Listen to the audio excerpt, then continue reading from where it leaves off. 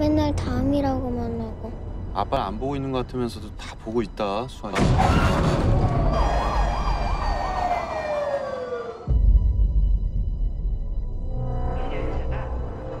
팀장님 기차 타셨어요? 점심 전에 들어갈 것 같으니까.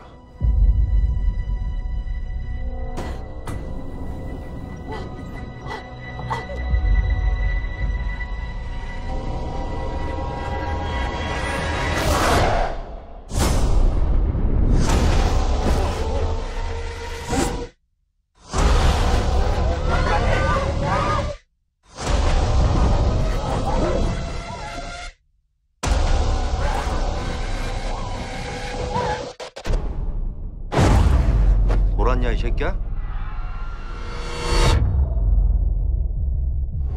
현재 대전역에 군대를 배치하여